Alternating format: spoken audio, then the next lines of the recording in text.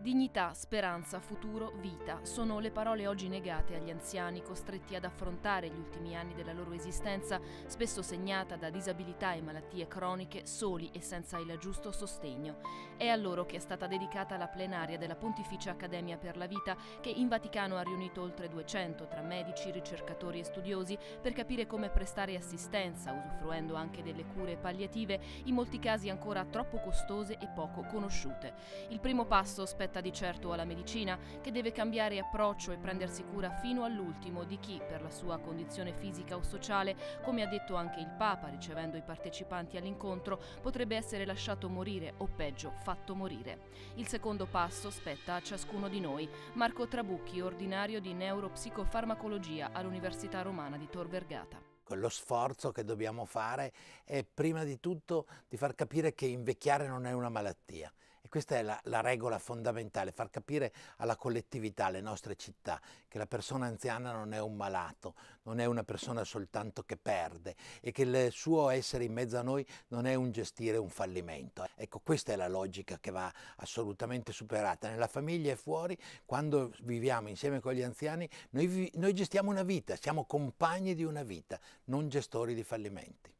Solidarietà sociale dunque, ma anche farmaci sperimentali, nuove terapie per il dolore, oggi per lo più affidate agli oppioidi come morfina e metadone, che se somministrati in eccesso possono persino accelerare la morte dell'anziano, e ancora le cure infermieristiche specializzate. Prima di tutto però serve la famiglia, anch'essa a volte orientata dalla logica dell'utilità, anziché da quella della gratuità e dell'amore. Il vescovo Ignazio Carrasco de Paula, presidente della Pontificia Accademia per la Vita. Questo è fondamentale, direi che non c'è niente, mi pare che il Papa lo ha ricordato questa mattina, nessuno può, può sostituirsi a un familiare, quello che il familiare di per sé può dare per diversi motivi che credo che siano facilmente comprensibili, per i legami che esistono, eccetera.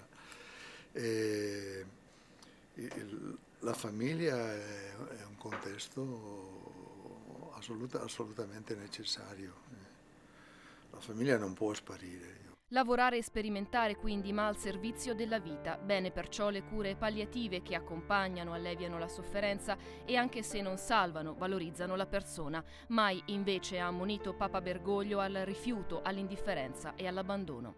L'abbandono è la malattia più grave dell'anziano e anche l'ingiustizia più grande che può subire. Coloro che ci hanno aiutato a crescere non devono essere abbandonati quando hanno bisogno del nostro aiuto, del nostro amore e della nostra tenerezza. Uno Stato non può pensare di guadagnare con la medicina.